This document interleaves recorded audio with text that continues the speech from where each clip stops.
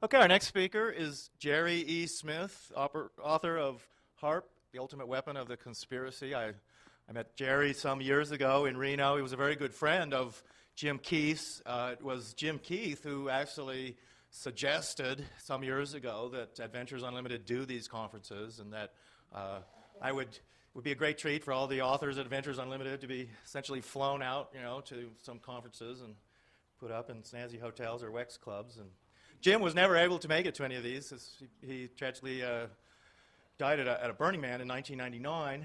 But we have had Jerry, and this is the second conference we've had Jerry at. So please, a uh, warm welcome for Jerry Smith, author of HAARP, The Ultimate Weapon.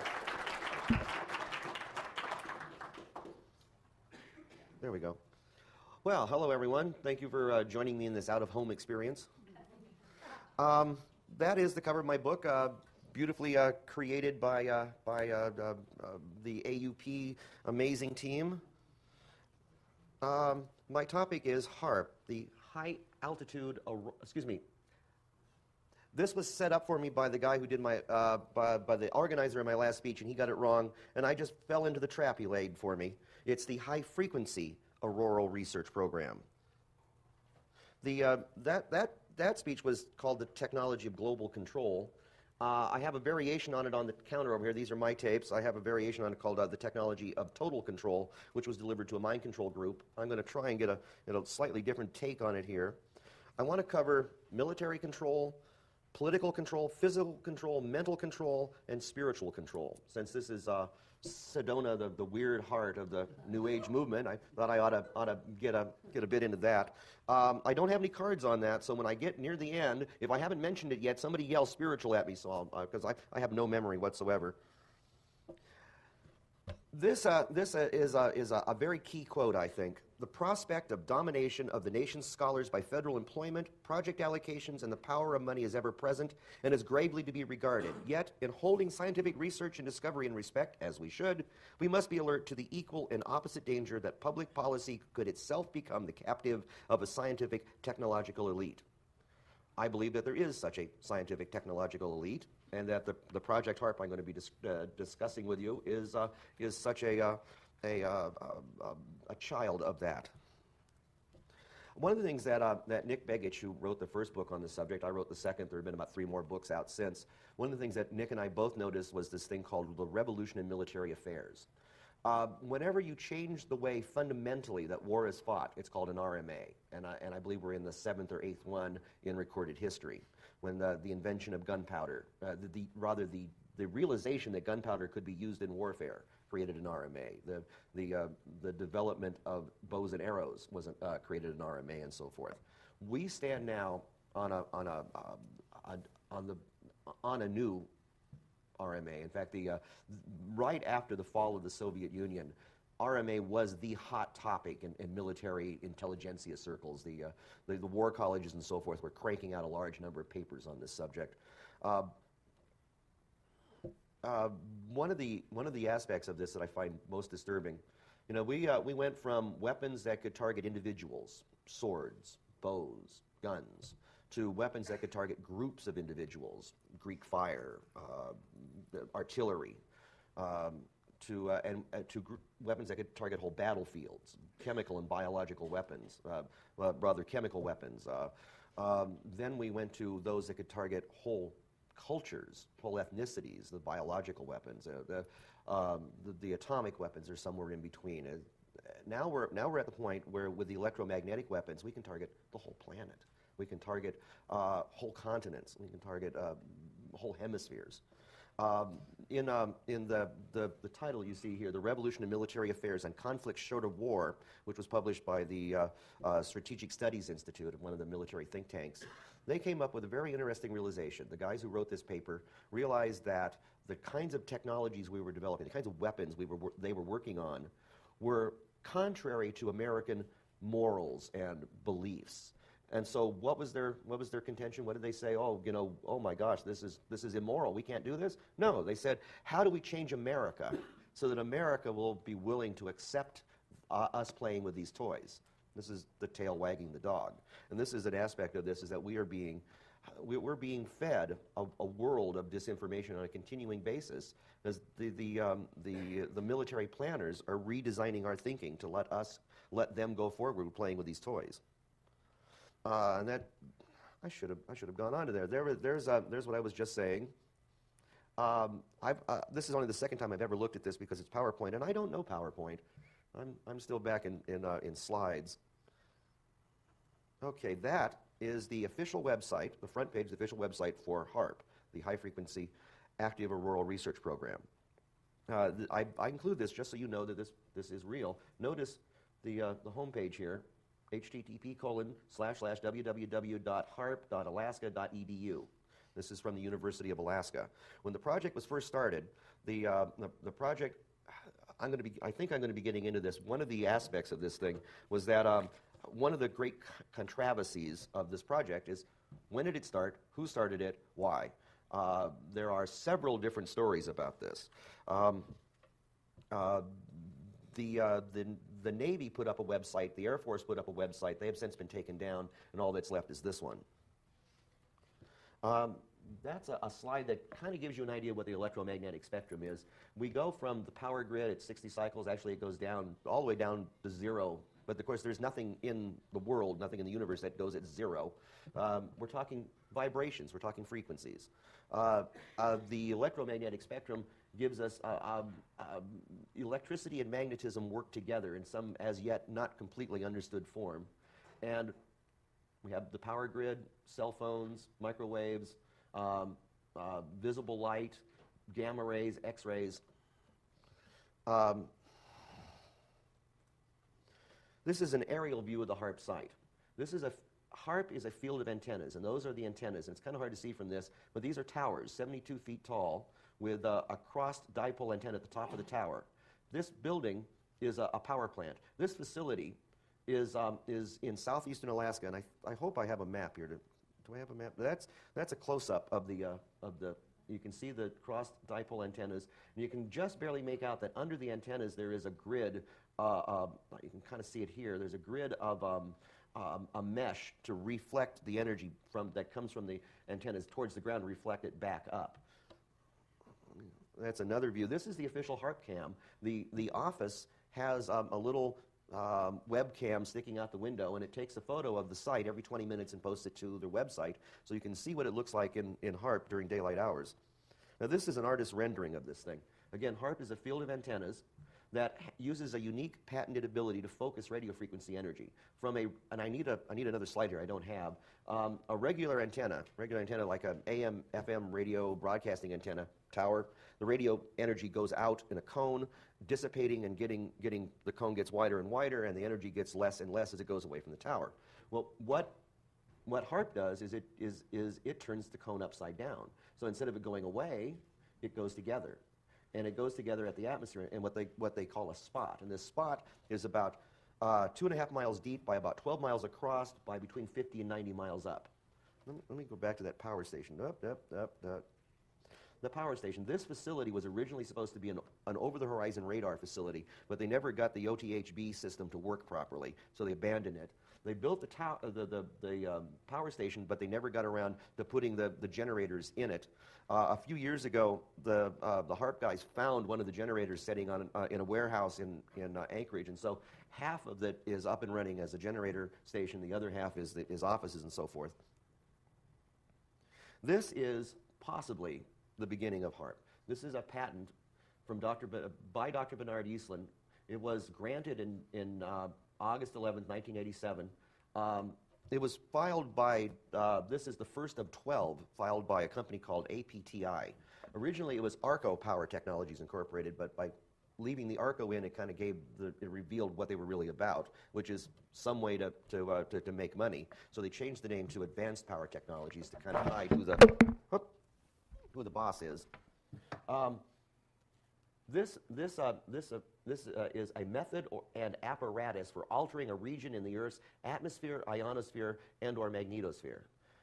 One of the rather curious things is that Bernard Eastlund and his team at APTI had been working on this sort of thing for a decade or two, and uh, um, uh, about a decade before this uh, patent was, uh, was granted, he, he filed for another patent um, which I have a link to in my website. This is at the back of my book, my book at the back of the book, um, in which he uh, he patented an ability to create relativistic particles uh, at the top of the atmosphere, and I'll get into that here in a bit. But it's a way for destroying spy satellites or incoming ICBMs. It's a ground-based Star Wars weapon system. This patent is for a field of antennas like the one we just looked at, only it's designed to be 40 miles on a side. Uh, a huge energy hog so as to make ARCO happy selling uh, uh, natural gas to run the turbines to produce the energy. Uh, that's what it's really all about. Is is is is uh, Eastlund and his people were working on ways to screw the government out of as much money as possible, and they, they, they thought playing, playing the Star Wars game was the way to do it.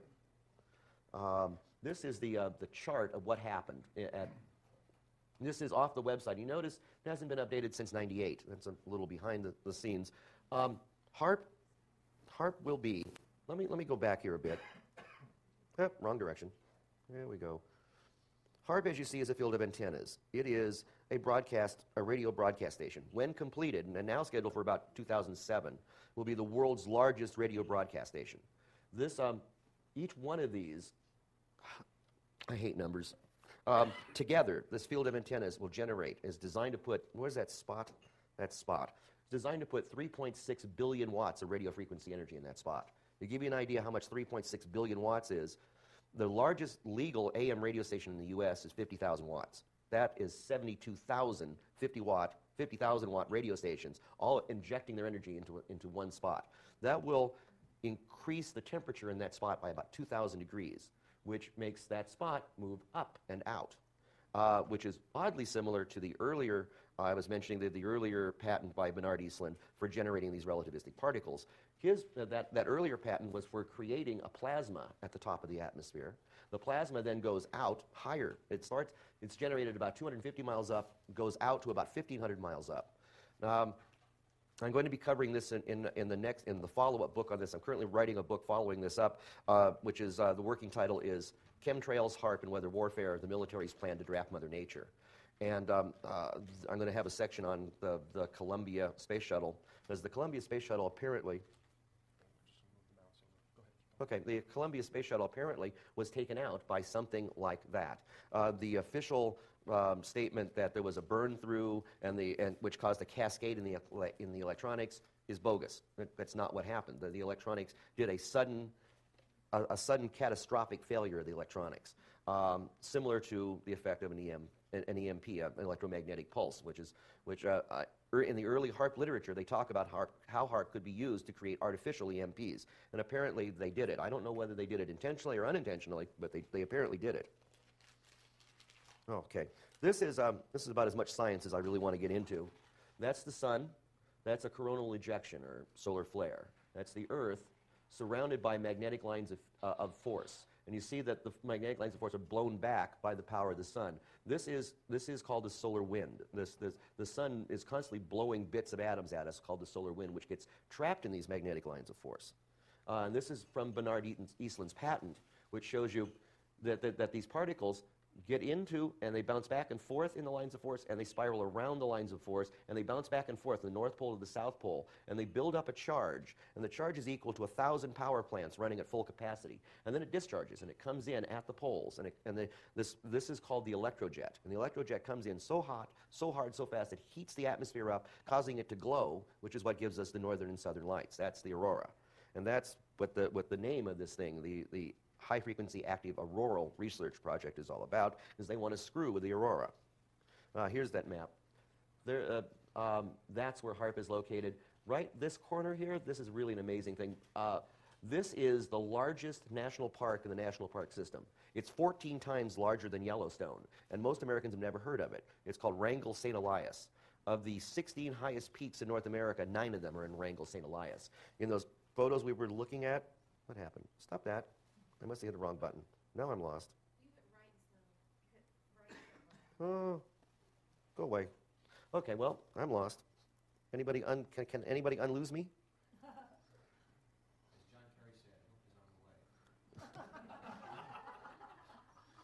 I think he meant Hope, Arkansas. Very good. Okay, you unloosed me. Uh, now, why did I do that? Where were we trying to go? well, let's, let's move forward until the, the memory comes back.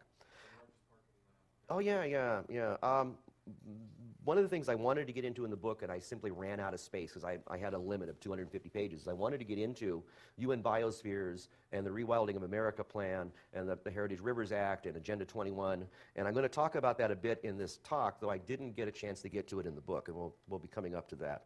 Um, as you can see, well, an often, uh, often asked question is who's involved in HAARP? Now, this is this is the old data from what it was in, when I wrote the book in 1998. Remember that, that unupdated. They, um, they want you to think HAARP is civilian. Be, be, remember I mentioned that the, uh, the original facility here was a over-the-horizon radar facility. If HAARP is used as over-horizon radar, it violates. It would have violated the ABM treaty because it's steerable. Uh, the, the ABM treaty specifically says you cannot have a steerable over-the-horizon radar. So they did not want to violate the ABM treaty at that point in time, so they concocted it as being uh, a civilian science station. Um, they, they put up, uh, Navy and Air Force put up websites. Uh, the Air, uh, then the University of Alaska, who took over most of the grunt work, then, uh, then put up their website. Since that time, uh, a lot of things have changed at HAARP. Down the, down the road over here, um, we have um, about 2000, the funding got pulled. And for about two years, the scientists just sat around staring at the walls. Uh, I read emails of them grousing about not having enough, enough fuel to run the generators. Back here, oh, wrong direction again. Exciting. Okay, these little buildings. Those, those are shelters, and in the shelters were, are, were transmitters. Before they found the, the missing generator, they were using diesel generators in these, in these transmitter shelters. And so there's, I think, four transmitters and, and, and diesel gasoline, uh, gener- uh, diesel electrical generators in these shelters. And that's what they were running the, the, the field with. And the, um, uh, uh, they ran out of fuel. They got, they got defunded and run out of fuel. Let me show you something else back here. This, this is uh, a tiny fraction of what, the, what it's supposed to be when completed. This is about 48 towers. I, I, believe there's 70 towers, 48 of which are wired up. When they, when they get up to it, oh, this pad is diagnostic instruments. These, these instruments see what this does to the, uh, to the ionosphere. This is called the IRI, or Ionospheric Research Instrument. When they, when they uh, finish it in 2007, this pad will be cut much larger. It'll be about there. And will be um, uh, uh, 180 towers, where here we have about half of the, of the grid is up. It'll, it'll about double in size. Now, uh, I was telling you about the, the changes, and this is, this is going to be uh, in, in the book, so I'm giving you a bit of the update here. Um, uh, they, they got defunded. Uh, the, the, the Bush administration came in with this idiotic shoot a bullet with a bullet anti-missile missile defense system that, that can't work, but they went forward with it. A curious thing is that just down the road from HAARP, 26 miles away from HAARP, is Fort Greely. Fort Greely is the only anti-missile missile defense base in the country. And that's uh, uh, Tom Ridge had his own missile uh, site, and they they have at least they've taken possession of at least four missiles there. Now um, there's a guy named um, uh, Marshall Smith who has a, a, website called Brother Jonathan Gazette or B R O J O N dot com, and he listens. He's a former NASA He's, he's got an amazing story. He was uh, a NASA uh, project head, and he got hired. NASA tasked him to figure out a way to give our missile secrets to the Red Chinese. So he worked up a, a gizmo that, that could be given to the Red Chinese so that it would look like that we were giving them civilian technology when we were actually giving them military technology. And after he did it, he went, Why did I do that? And is now a, a, a whistleblower uh, uh, uh, blowing the whistle on what's wrong with NASA and a lot of other things. He's, he's big on peak oil. So the, the, the, the HAARP begins, and, and there's a great deal of debate as to how HAARP began because we saw the Bernard Eastlund patents. HAARP says, no, that's not us. We don't, we're not doing that. No, that, there's no connection between us and, and Eastlund. Uh, however, though the company that, that Eastlund worked for got the contract to build HAARP because they had the technology, they had the patents, they had the intellectual property to build HAARP. And whoever has possessed the patent since has had the contract because you can't do it without this technology because it's the only one in the world. Now, the APTI got bought by E-Systems. E-Systems got bought by Raytheon. Um, recently, Raytheon sold E-Systems to BAE Systems, and I, I, I, need to put the slides of, of this up. Um, BAE Systems is the former British Aerospace. Um, they, uh, the uh, British Aerospace North America has several divisions, and one of which is the Electronic and Information Warfare Division. And those are the people who, are, who have the, currently have the contract to finish building HAARP. I think that should i- i- be of interest, the Electronic and Information Warfare Systems. Um, the, the current management, it was originally a, uh, a group af- effort of Navy and Air Force. And Nick Begich and I both wrote at great length about the, the, the Navy and Air Force connection to, to this thing. Since then, DARPA has taken it over. DARPA is the Defense Advanced Projects Research Administ- uh, Agency. Um, if you've ever seen the, um, uh, James Bond movies, remember Q? You know, uh, imagine if you will, Q has 10,000 employees and a billion dollar budget. That's DARPA. So, somewhere around here, DARPA takes over. It, the, uh, it, gets, it goes from Air Force and Navy through this period to DARPA. DARPA uh, has eight directorates, one of which is TTO, the Technical, the Tactical Technical Office, whose job it is is to make force multipliers. A force multiplier. This is this is a, a, a, a phrase that keeps coming up in HAARP research. There was a, um, um, and I'm going to get to that here in a bit. Let me let me move on because I, I think I think you're having trouble staying awake. Okay. Now, people keep asking me, what is HAARP? This says it. This is in, in military uh, uh, bureaucratic ease. You know, you got to kind of decipher this thing. But this exactly states what they intend to do with HAARP. The heart of the program will be the development of a unique ionospheric heating capability to conduct the pioneering re- experiments required to adequately assess the potential for exploiting ionospheric enhancement technology for DoD purposes. Now, let me break that down. Ionospheric enhancement. You got to love that. Only the military would think breaking something makes it better. Mil- uh, uh, uh, again, the, the whole bit about is they're injecting energy into the ionosphere to make it do things. They, they are changing the ionosphere. They're changing the electrojet. They're, they are meddling with big Earth systems. That's, and they're enhancing the Earth. They're making the Earth better for us. Now, come back here, you. This thing goes to sleep all the time.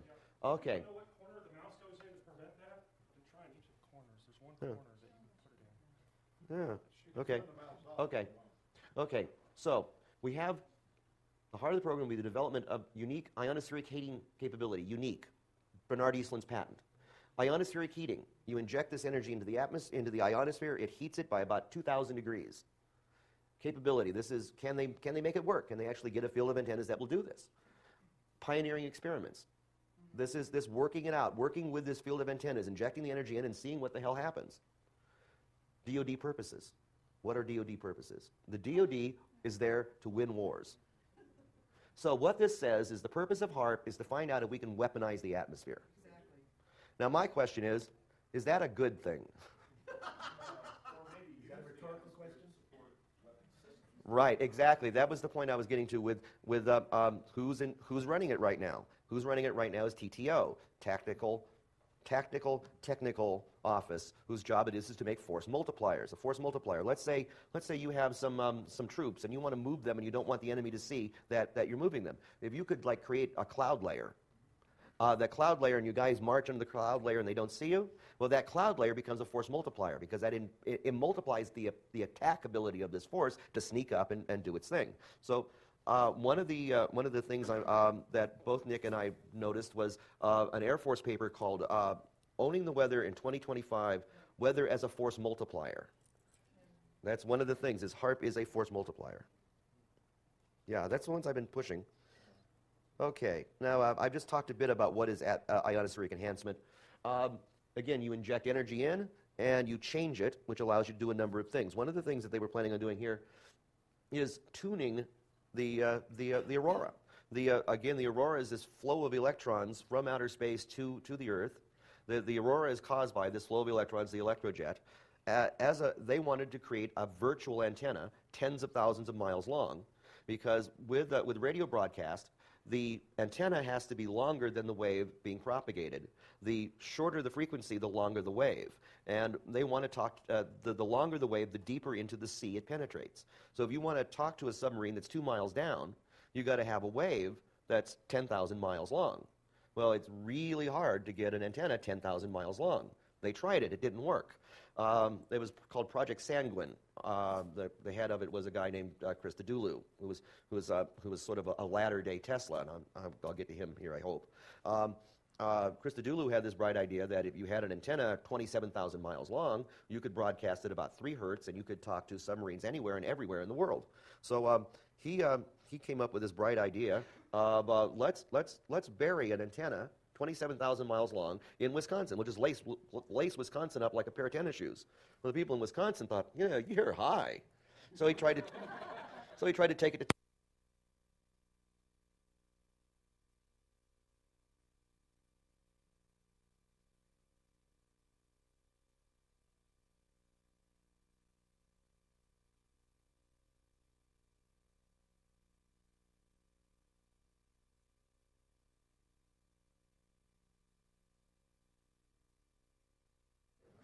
Are, are we working, Ted? Yeah, it sounds like it. Okay, let's, let's, let's um, so um, one day I sat down and I made up a list of all the potential applications, civilian and military. And uh, I found about 20 potential civilian and about 40 potential military. And this is just a few of them. Um, uh, I'll let you read them here as I babble. Um, one, of the, one of the things, the first thing that, that, that came up, the first thing that was in the literature, was that if you uh, the way the, uh, the way the long range radio happens because it bounces off the ionosphere. You can, you, if you've ever been driving at night and you picked up a, an FM or an AM radio station from the other side of the continent, it's because it bounced off the ionosphere. An off, uh, short wave, long wave is bounced off the ionosphere. Uh, this is very important to military communications. And if you can change the shape of the ionosphere, you change the way it bounces which means you can, if you know what you're doing, you can um, take out enemy radio communications. Also, if you know what you're doing, you can create artificial bounce spots. And the artificial bounce spots will then allow you to keep your channels open while their channels are closed. Hello. There we go. Okay. Um,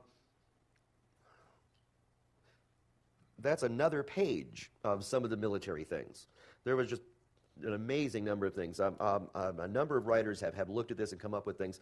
One of the reasons it was funded was this Earth penetrating tomography. Earth penetrating tomography is a brand new science. It did not exist before 1980. It is a, a it's, a, it's like CAT scanning the Earth. It's like a, um, um, uh, taking a, a dirt radar is one of the things it's been called. It can be used for an awful lot of applications. Uh, if you have an earthquake and you want to find out if a bridge has been damaged by the earthquake, this, uh, this, this technology will allow you to see the inside of the bridge and see if there's any damage. Also, if you're looking for oil or gold or lost civilizations, um, they, used, they used this to find uh, um, Sheba, where the Queen of Sheba lived. Uh, they, they used earth penetrating tomography to find where the city of Sheba was. Um, it's got a lot of, lot of, lot of good potential. Uh, on, uh, it also has a lot of military potential. As, um, the, uh, the project was originally funded as um, uh, under counterproliferation studies by the, uh, by the Reagan administration uh, to target, to, to, to, to locate, monitor enemy underground bases for the manufacture and launch of weapons of mass destruction. Uh, I believe, if I can get this thing to come back. Okay. We, uh, we talked about Nikola Tesla yesterday. Um, David, uh, I, I, came in just as David was finishing up on Tesla, uh, so I'm not quite sure what he said. Is there anybody here who doesn't know who Tesla is at this point? Everybody knows Tesla. You know, the, the one of the time I gave this speech, I put up that picture, and I said, "Is there anybody here who doesn't know who it is?" Nobody put up their hands, so you all know who it is. No hands went up. Later, I discovered not one person in the room had a clue who the hell this was, and, and they were all too embarrassed to mention it. Good. I'm going to assume you know, and I'm going to go on, and if you don't know, you're in a deep, deep, deep, deep you got to love that attitude. I mean, this guy, th- th- this guy was, he, w- he was the greatest genius of his generation, possibly of his century, and he knew it. Gorgeous. Yeah. Um, this is uh, this is Nick's book. Um, I, uh, I got the con- uh, when I uh, Nick's book is is a is good for information, but not a very good read. And I, I, don't say that with any sort of animosity. It's just Nick is not a writer. He's a school teacher, and he really and it's a home job. It's a self-published book, and it has everything you could possibly have wrong with a self-published book. Okay. On 23 March 1983, President Ronald Reagan called upon the scientific community in our country, those who gave us nuclear weapons, to turn their great talents now to the cause of mankind and world peace to give us a means of rendering those nuclear weapons impotent and obsolete. That's Star Wars. That's the Strategic Defense Initiative. And um, uh, it's pretty clear from what they're looking at with HAARP that it is indeed a, a Star Wars weapon system and perhaps more. Um, my next book is going to go a great deal of depth into geophysical weaponry. Uh, and the key to geophysical warfare is the identification of environmental instabilities to which the addition of a small amount of energy would release vastly greater amounts of energy. A good example of that would be let us say you have a, a bomb and you put it on a fault line and you set off an earthquake. Your little bomb knocks down five cities. That's geophysical warfare. HAARP appears to have the ability to do geophysical warfare, and that it is a geophysical device. It works with Earth systems, and it's working with Earth systems for Department of Defense purposes. And part, Department of Defense is not interested in selling cans of tuna. Ah, I mentioned Air Force 2025. Um, let me uh, let me see. If, let me skip in my notes here because I've got the. Yes, it is. Uh, this I, I, put this slide up because I love this logo. You see the, the wings and the propeller and 2025 in the Earth. Um, I should be following along in my own notes, don't you think? Um, the reason I mentioned, let me go back to Tesla here while I'm trying to figure out what, what the heck I was doing. Tesla, uh, as you know, was involved in an awful lot of stuff. And there's a there, Nick Begich's book that I showed you the title, the cover of. The, the, the, the reading title is Advances in Tesla Technology. Nick was convinced that this was Tesla technology. Um, Bernard Eastlund, in his patent, references Tesla. It turns out I, uh, uh, that when Eastlund went to file the patents, he gives them to the patent examiner. The patent examiner looks them over and goes, You know, this sounds just like Tesla. And Eastlund goes, Who? Uh, and, and the patent examiner would not accept them until he'd put Tesla in. So he had to take it back and write a section of Tesla under, under the title, I believe, of earlier arts or prior arts and, and insert that into it. it it's, it is Tesla and it's not Tesla. As, as uh, these, these lights, that's Tesla. In fact, Tesla had his laboratory lit with 16 different types of lighting before Edison invented the light bulb. Edison did not invent the light bulb, he was on the golf course at the time. Uh, he, he, did, um, he did give somebody, they didn't record his name, but they did give somebody five bucks for inventing the, the, the electric light bulb. Uh, it, it, it's um, uh, recorded in the, in the lab, in the, in, in the, te- in the Edison lab notebook that on a particular day, five bucks was, was paid out for the discovery. Where are we at? Hello. There we go. Um, Air Force 2025. Nope, nope, nope, nope. Okay. Uh, um, where, where were we? There we go. Um, I'm, I just blew past it. I hate, I hate being disorganized in, in public. Um, the, um, the Air University was, was um, directed by uh, the Secretary of the Air Force to come up with what it would be necess- what would it would take for the United States to be the dominant air and space power in the year 2025. And they produced about, uh, about um, 41 papers, position papers on this. And one of those position papers is Weather as a Force Multiplier, Owning the Weather in 2025, in which they talk at great length about um, uh, the sorts of technologies that they could be moving forward with. And this is a, a, um, uh, a, matrix of, of what you could do if you owned the weather. You could, um, uh, you know, if you make it rain over the enemy, he's, he's going to decrease the comfort level. You know, the, the soldiers are all in wet socks and, you know, the, the gloomy skies, uh, you, so you, your the morale is down. Um, if you can may be able to destroy the space assets by creating space weather, these, these clouds of relativistic particles. On the other hand, you could um, um, uh, create fog and cloud generation. If you could make clouds, you could move your guys secretly, as I mentioned earlier. So there's quite a number of things here. And there is an international treaty banning the use of geophysical weapons. And this paper directly addresses what they can do within the framework of that. They also address the fact, well, even though there's a treaty against it, and even though we are the good guys and we wouldn't break the treaty, the bad guys would. So we have to develop the technologies that are against the treaty so we know what the bad guys are doing. So when the bad guys develop the bad guy test stuff, we have, we have the technology to counter the bad guy stuff. You know, the devil made me do it. uh, and speaking of the devil. Um, and, and here is the devil incarnate. I don't know if you can really make this out very well.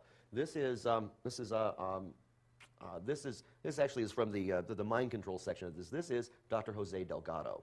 And uh, I know there are several people in the room who are very familiar with the work of doc, Dr. Delgado.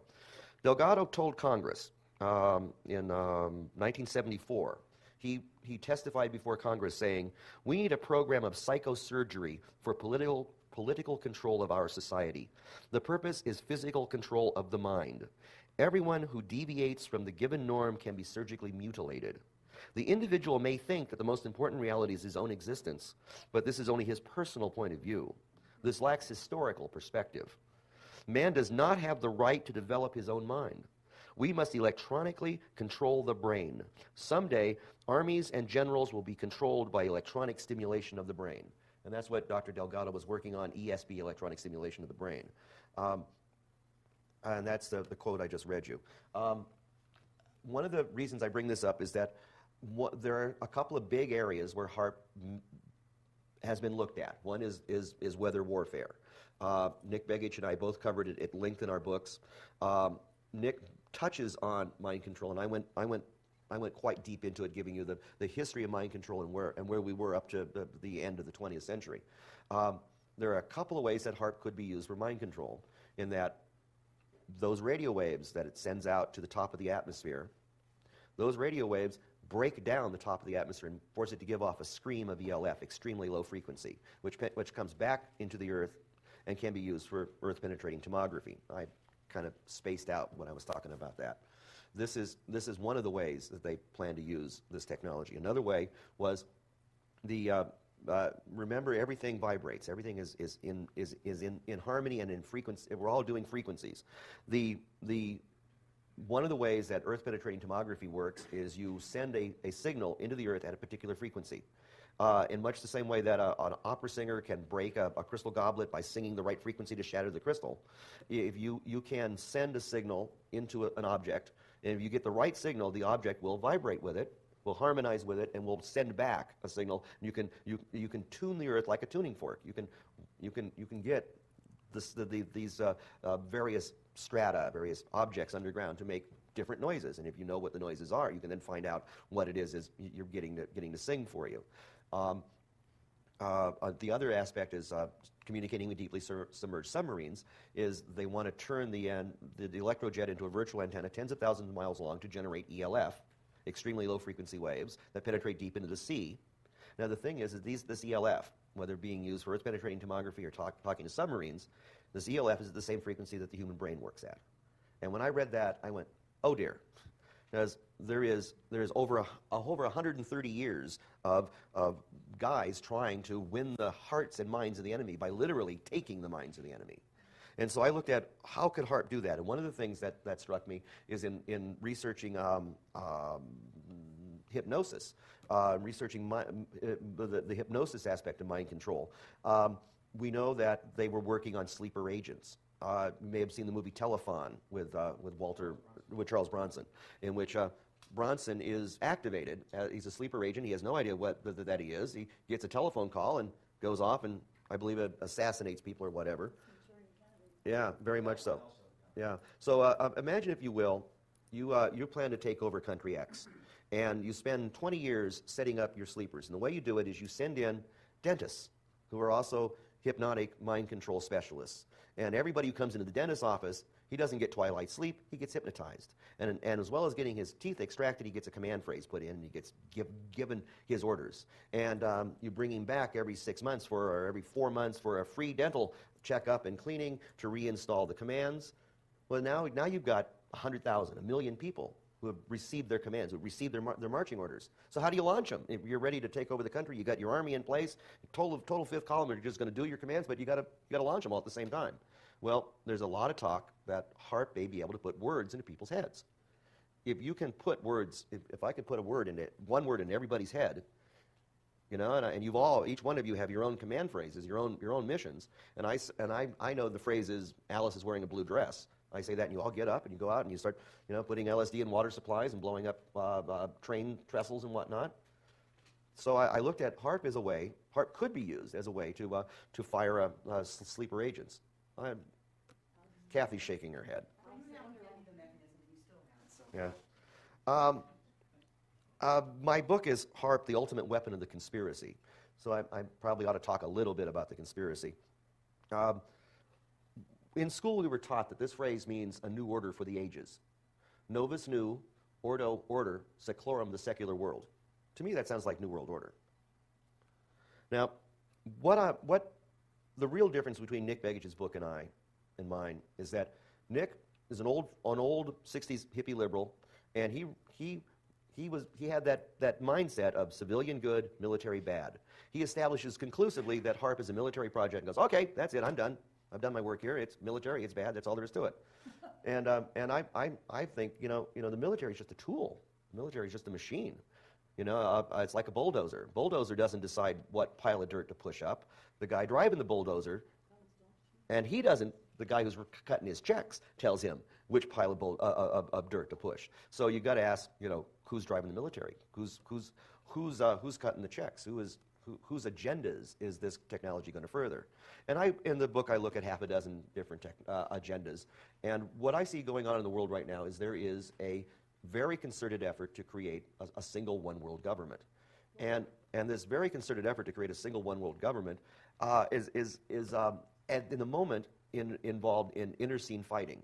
And the reason we don't have Big Brother is because there are two competing sets of Big Brothers, or maybe eight competing sets of Big Brothers. And every time one side manages to get a piece of it nailed down, the other side pries it up because no, we don't like that version. We want our version. And so we're stumbling and jogging towards a, towards a new world order. And the, the major factions I see are the, uh, the Rockefeller, Rothschild, old, old line uh, banksters who are trying to create a, a world government based on the corporations that would, you know, it looks like David Rockefeller wants to be chairman of the board of Earth. On the, on the other hand, you have um, the, uh, the uh, um, communism is not dead. It's just not red anymore. Now it's green. The, the, the, the communist movement has, uh, has taken over the environmental movement, and they're trying to create a world government based on, on environmental edicts. So on the one hand, you have NAFTA and GATT, on the other hand, you have Agenda 21 and the Kyoto Accords. And uh, I touched a bit of that in the book, and, um, and I'm going to go a, a, great deal deeper into, uh, into it in the next book. I'm, have I completely confused you now? Let me, let me, let me, let me open this to, to some questions. Any, but you're there in the back. Yeah, you made a comment earlier that you, you went on to the next thing I'm really curious about. When you commented that that's how, uh, there's only one HAARP, right? Right. Uh, one of the problems. Uh, it, it, uh, well, okay, okay. HAARP, HAARP is. Okay, HAARP is a, an ionospheric heater. There are about 20 of them in use around the planet. There's one at Arecibo. There's like six in the Soviet Union. However, HAARP is the only one that can focus the energy from, from the field. All the others just send out a lot of radio and, and hope, hope it does something. Okay, here's my question. Um, you made a comment about that's how they broke the Columbia shuttle down. Right. Um, HAARP, uh, HAARP was up and running for 60 minutes before um, uh, uh, reentry, continued running for about another 60 minutes after signal loss. Are you saying this was an accident? I don't know. Uh, the, the, uh, I, I didn't do this research. There is a, a website called Columbia's Sacrifice. That's, it should have a, an apostrophe in it, but it doesn't, so it's Columbia's Sacrifice. I think it's dot .com.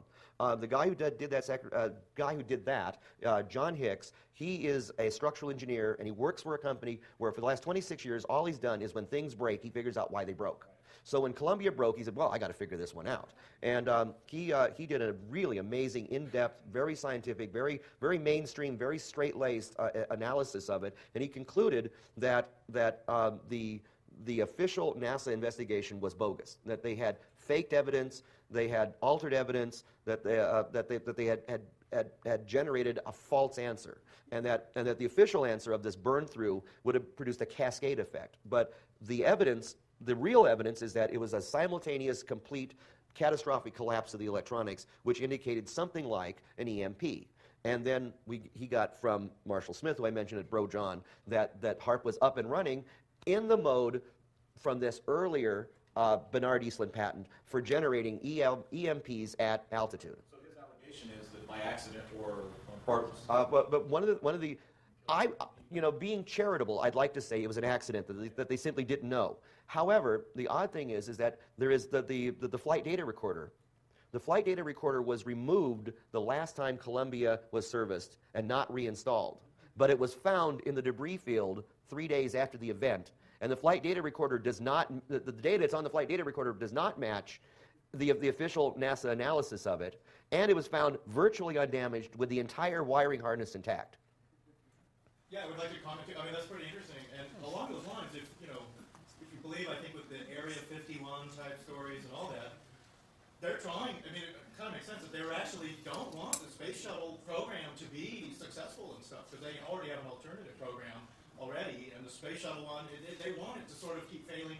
It's because supposedly our space program is way, way behind. We can't even go to the moon anymore like we could, you know, 40 years ago. We could go to the moon, uh, but not now. Yeah, You know, it- and our, our space program is, is getting worse, not better. Yeah. And part of it is these disasters and things Well, like that. NASA is getting. worse. But that was also what Bernard Eastlund said in, in that, that movie was, he said, yeah, they never talk about the pulsing capacity. which Exactly. The electromagnetic pulse, and they, they Right. ignore that, that. Right, that's a, that's a very good point, and this is a technical point that I, I only sort of understand. But when you pulse something, you can jack the energy o- uh, of it up. Uh, I know Kathy understands this. Bernard Eastlund gives a really uh, Bernard Eastlund gives a really good example of, under, of how to understand pulsing. You take a, a little pen light. You, you, you know, you're, you're, I don't have one on me. You got a little pen light flashlight. You put a little battery in that, and, and that battery can give you a little bit of light for hundreds of hours.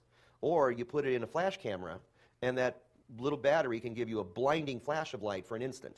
And that's what pulsing is. And that, and that all the official HAARP literature never mentions anywhere being able to pulse the field. Now they're talking about 3.6 billion watts in normal mode. And Bernard Eastlund uh, ran up the numbers, and he said in order to be able to affect weather on a, on a continent-wide scale, you have to be able to get at least 100 billion watts. They're making 3.6, you got to get at least 100. But you can get 100 times by pulsing it. So they could achieve the, the, the, the- the numbers he thinks they would have to achieve by pulsing. And of course, they, they don't admit to it.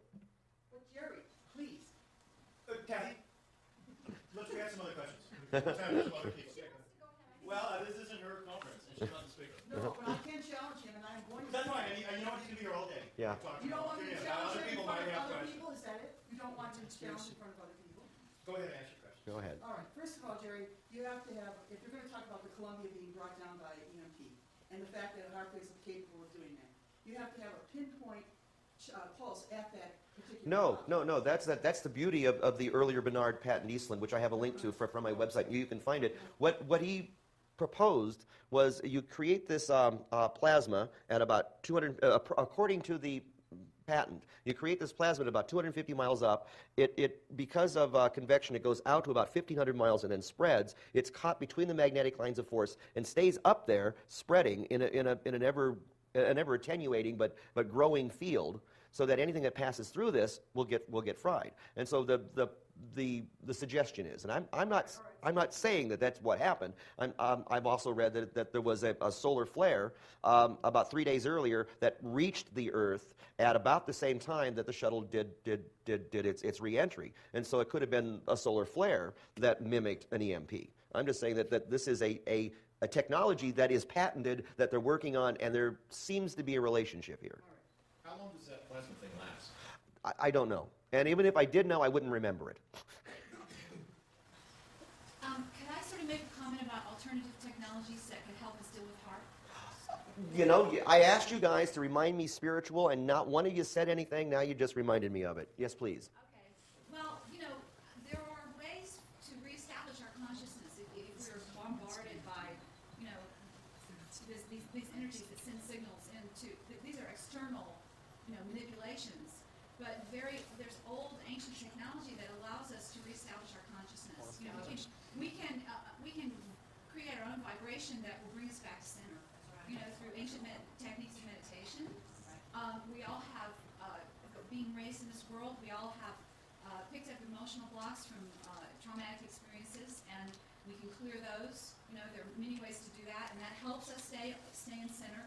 Um, we can, you know, by being careful about, about what we take into our bodies, it just helps us stay clear and helps us be a counterforce to all of this. And also in shamanism, there are ancient techniques for helping the weather to reestablish itself. And I know Colorado was suffering from a terrible drought, and there were people, you know, who had studied shamanism, who we were all help, trying to reestablish the natural cycle, I mean, we did. Uh, the, the, it's raining, it's snowing, things are, are much more balanced now. And so, um, I, I, everything you're saying is wonderful and beautiful, and we need to be aware of it. And I think we also need to not lose hope, because there are ways that we can counter these things. Um, Good, good point. so- Um, I, I meant to, um, in the book, I wanted to go into some spiritual aspects of, of it, and I didn't because I ran out of, I ran out of, of pages, and I- realized that it was just a little too woo-woo for me, so I, I kind of backed off on it. But let me, let me throw out some ideas here. One of the, one of the things is if we have this protective field, what, you know, this, this Star Wars uh, radiation field that, that, will, that will kill incoming things, what's it really intended to kill? Is it ICBMs? Is it enemy spy satellites? Is it, is it Paul Bennewitz's spaceships? Um, is, it, is it angelic beings or demons? I mean, there's a, there's a, uh, everything vibrates. Everything is, is uh, uh, running on frequencies. You get the right frequency, you can shatter a crystal. You get the right frequency, you can shatter a, a virus. Um, this, this gizmo could um, shield that. Oh, there's, there, there's known to be healthful frequencies. You know, you have, a, you you have the, the, the, the magic healing crystal may indeed be a magic healing crystal. That the, its frequencies may make you feel better, or you, you can, you know, the, the, the Atlantean uh, crystals uh, may be more than just sending power around, but sending, sending positive life energy around, sending health, healthful zones. Um, uh, Christopher Dunn suggested that the, that the, um, the, great, the Great Pyramid may be emitting a signal to make you feel good, make you in higher consciousness. Uh, um, HAARP is designed to bathe the entire world in radio frequencies. Um, and I'm wondering what radio frequencies they, they what, what secret agendas there may be behind this. I mean, they may they could be using it to, to make us to cure us all, or they could be using it to kill us all. Oh, well, I, I wasn't. I was being HAARP as the gizmo, but uh, you know, the, I get asked how do you protect yourself all the time, and, and I don't know any good Western science that some, uh, the, the, the, I don't know anything that Bill Nye, the science guy, would agree with. The uh, We all wear aluminum foil hats. no, alumin- no, it won't do it. No, no. The the uh, yeah. Um, the, in, in terms of in terms of science, you if you're you're dealing with radio, so you have to shield yourself from the radio. Uh, if you if you own a microwave oven, you know that when you try to look in it, you got to look through this little screen of dots. Well, that that your whole the whole microwave oven is a, a box of that. That's called a Faraday cage. Um, the that grill work goes all the way around the whole thing, and it it prevents the microwaves in the box from getting out. Now, if you, if you want to defend yourself by modern science against HAARP, you have to put yourself in the box. And, yeah, you have to, you know, you have to build your, a microwave in, uh, that's the size of your house and live in it. Uh, but I, I don't know anybody who wants to do that. Well, actually, I know one person who wants to do that. Actually, if I could just mention, uh, on that, there is a company called EMF Shielding or EMF, uh, I Yeah. forgot their website, but if somebody looks on the internet, there's a company that has all sorts of shielding and Faraday, copper, grounded things that you can put in your house. Yeah, there's a there's a um, um, um, one of the one of the products that they have is a screen you can put on your windows, so that if you happen to be looking out your window at a cell tower, you put the screen on it, and the cell tower energies don't don't get into your house. He keeps putting his hand up. Will you say something? Yeah, you're saying um, vibrations and frequencies. Uh, you know if this thing can affect anything on the subatomic level? Because theoretical physics right now, there's a, a theory, well, more philosophy than theory about string theory. Right. Everything vibrates on everything that vibrates at a different frequency. depend- That that vibration kind of dictates what the molecule will be. You know if it'll affect anything? I, I you know that's that's that's theoretical physics, and you know I'm poli sci. Your website? Ah, my website. Uh, I, I wonder if it was in this. Did we have it? Hello. Where does it go away? No, no. We're back to the beginning. JerryESmith.com. Yeah, yeah. I wanted to. I thought I had the. I thought I had the front page. Yeah, there we go. That's the front page of my website as it was a few months ago, and um, it is jerryesmith.com. All right, what And- discussion? I have a real quick question. Um, I come from Guam, it's a military strategic um, air base, and I saw people one time doing strange things with the trees. They were taking the trees apart and then left them looking like uh, tuning forks, you know, just a bit like this, and there were hundreds of them. And I Wow. thought it was really strange. I mean, they were like pretending to farm the land, but if you watch them closely, they were just doing really strange stuff, you know, like just uh, plowing the same, or plowing the same area, not really doing anything, just digging, and then, um, all kinds of strange things, putting, um, aluminum foil, I have, seashells. I have not heard of this one. But it was No clue. the trees all look like, uh. He doesn't have an answer for that. All right, um, thanks. Let's have a hand for Jerry.